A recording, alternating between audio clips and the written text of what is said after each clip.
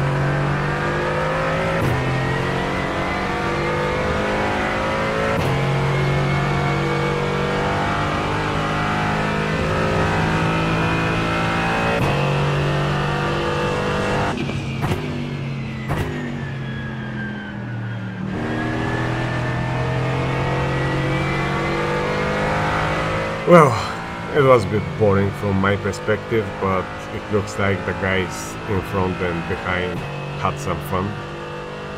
Races like those are painful for my ego. I prefer to have the speed to fight and die in the process instead of just watching from behind and calculate points. At least I hope that pain will motivate me to practice harder for the next race. Anyway, I have to admit those ups and downs are important for the progress.